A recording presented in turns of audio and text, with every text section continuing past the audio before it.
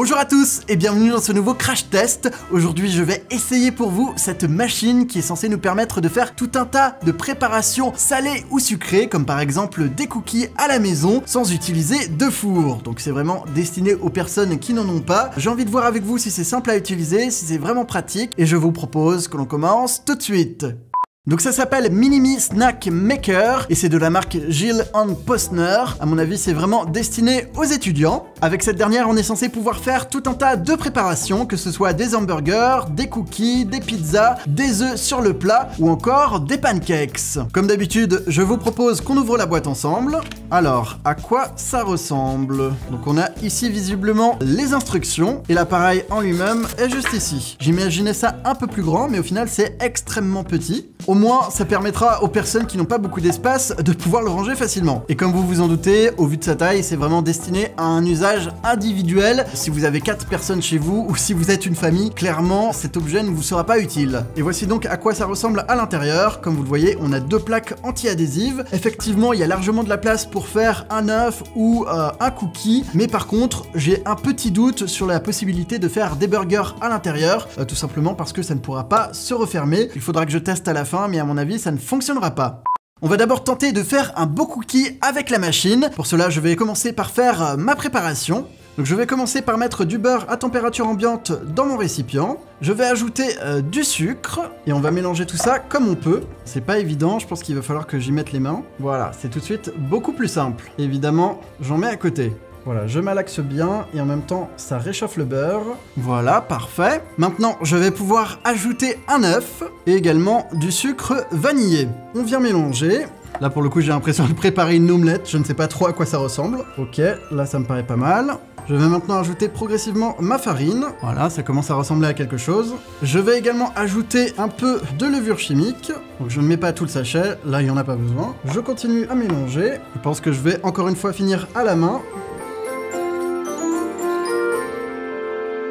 Comme ça, ça me paraît pas mal, on a quelque chose de bien homogène. Il ne reste plus qu'à ajouter un peu de sel, et bien évidemment, nos pépites de chocolat. Donc j'essaye de bien les répartir. Et voilà, notre pâte à cookies est prête. On va pouvoir passer à la cuisson. Pour cela, je vais récupérer mon appareil. Donc là, on a une LED qui vient euh, de s'allumer. Ok, c'est bon, la LED vient de s'éteindre. Ça n'a même pas duré une minute, donc euh, c'est relativement rapide. Maintenant, je vais ouvrir ça. Je vais mettre du spray anti-adhésif à l'intérieur, parce que c'est conseillé. Et maintenant, il ne reste plus qu'à mettre ma pâte au centre. Alors je vais partir sur cette taille, évidemment c'est censé gonfler un peu donc je ne vais pas en mettre plus. Et maintenant, je peux euh, refermer. Donc là, aucun problème, ça marche parfaitement bien. Et il ne reste plus qu'à surveiller la cuisson, en sachant que dans un four traditionnel, à 180 degrés Celsius, ça met en général 8 à 10 minutes. Ok, donc ça fait déjà 5 minutes, je vous propose qu'on regarde où ça en est. Il y a une partie centrale qui est dorée et le reste est vraiment blanc, alors qu'en général c'est l'inverse, c'est les bords qui commencent à dorer. Donc déjà ça veut dire que la cuisson n'est pas du tout la même que dans un four. J'ai hâte de voir ce que ça va donner en termes de texture et de goût. Ok, 8 minutes se sont écoulées, je vous propose qu'on regarde à nouveau où ça en est. Oh là là, c'est pas du tout prêt sur les bords là. On est très loin d'avoir un cookie terminé. Je vais laisser ça encore quelques instants. Là, à mon avis, ça va être cramé au milieu et pas assez cuit sur les bords. Si c'est le cas, ce sera vraiment un échec. Ok, c'est bon, ça fait 10 minutes. Je vais sortir mon cookie qui, de toute façon, sera toujours un peu mou. C'est comme quand on les sort du four, on peut encore euh, changer leur forme. Et je vais le laisser refroidir pour qu'il durcisse. C'est parti. Ah Oh là là, je l'ai cassé. Très très étrange. On verra bien ce que ça donne, hein. La cuisson... Ah, ah Oh, c'est brûlant Oh là là Mon dieu Faites attention, c'est très chaud. Je vais en préparer un autre pour être sûr et on verra bien le résultat à la fin de la vidéo.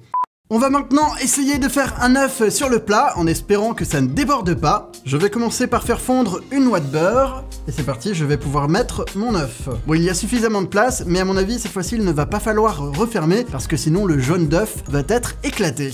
Donc on va attendre comme ça. De toute façon, là, ça a l'air déjà de bien cuire. Je vais quand même rajouter un peu de poivre, une pincée de sel et quelques herbes. Là, pour le coup, ça a l'air d'être vraiment efficace et on va obtenir un rond parfait, ce qui va être vraiment satisfaisant. Et voilà, on a notre œuf sur le plat. Comment je peux sortir ça?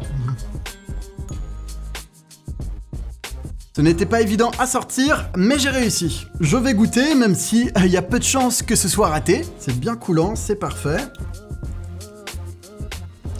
Là, pour le coup, il n'y a rien à dire, c'est complètement réussi. Avant de goûter les cookies, je vous propose que l'on regarde ensemble si on peut effectivement faire cuire des buns de hamburger à l'intérieur, puisque a priori, si on veut faire cuire une viande et du fromage à l'intérieur, il n'y a aucun problème. Donc c'est parti, j'ouvre ça, comme vous le voyez, il y a encore du beurre à l'intérieur. Je vais mettre la base ici. Donc là, est-ce que ça ferme? Ouais, mais euh, c'est assez limite quand même. Je suppose que ça va quand même dorer. Et est-ce qu'on peut mettre l'autre partie sur le dessus pour aller plus vite? Bon là, non, clairement pas. Ce n'est pas fait pour. Bon, je vais quand même essayer de faire euh, dorer euh, ma base. Honnêtement, elle m'a l'air un peu trop grande. Mais bon, on va voir ce que ça donne. On va attendre quelques instants. Il ne faut juste pas que ça prenne trop de temps, puisque dans une poêle, c'est relativement rapide. Ou même au grille-pain, en 3 minutes, c'est réglé. Ouais, ça l'écrase un peu. Bon, c'est dommage. Ok, le temps est écoulé. On va voir si ça a marché. Suspense. 3, 2, 1... Bon, et eh bien effectivement, c'est toasté, c'est doré par endroits, on voit que c'est bien chaud. Franchement, c'est plutôt pas mal, même si effectivement, je préférerais quand même le faire à la poêle. Mais si on n'a rien d'autre, effectivement, ça peut faire l'affaire.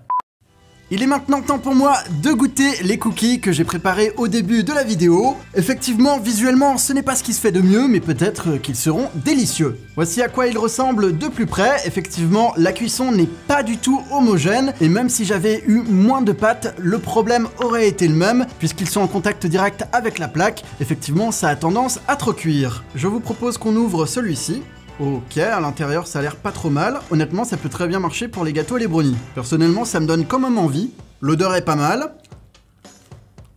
Bon, c'est bon, mais pour le coup, ils sont vraiment très secs. Ça me fait penser euh, à des granolas, mais avec un petit goût, euh, pas de brûlé, mais de trop cuit sur la fin ce qui est un peu dommage. Après, euh, on peut pas se mentir, ça se mange quand même très bien. Honnêtement, si je devais leur donner une note, ce serait un 6 sur 10, et je dirais exactement la même chose de l'appareil. Il fonctionne, à mon avis, il est vraiment pas mal pour dépanner euh, lorsqu'on n'a pas de four, de micro-ondes, qu'on a par exemple qu'un feu, mais euh, c'est pas non plus pour faire de la grande gastronomie, c'est vraiment un objet du quotidien pour faire des plats un peu basiques, et avec une cuisson, on va dire, à peu près moyenne. Voilà, il faut pas s'attendre à des miracles, mais ça fait le travail. Je vais donc valider ce crash test parce qu'il tient ses promesses et parce qu'il peut dépanner pas mal de monde, mais euh, si j'étais vous et si vous en avez la possibilité, autant investir directement dans des plaques de cuisson, même euh, amovibles, euh, ou un micro-ondes plutôt que ce genre de produit. En tout cas, c'est tout pour aujourd'hui. Si vous êtes intéressé par les cookies, n'hésitez pas à aller voir ma vidéo sur la recette parfaite pour en faire. Et puis quant à moi, je vous dis à très bientôt pour de nouvelles aventures. Au revoir